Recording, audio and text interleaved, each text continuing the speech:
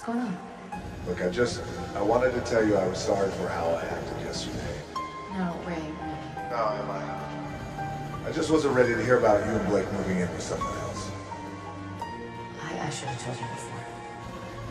Hey, how's Blake feel about it? You know, she'd like us to be a family again. I, I I think it's gonna be hard for her. Emma, where are you? To the roof, honey.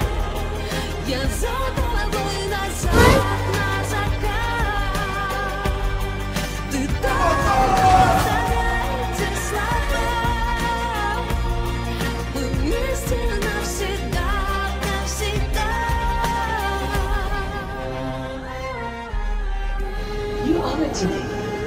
This, this is the most I've gotten out of you since she died.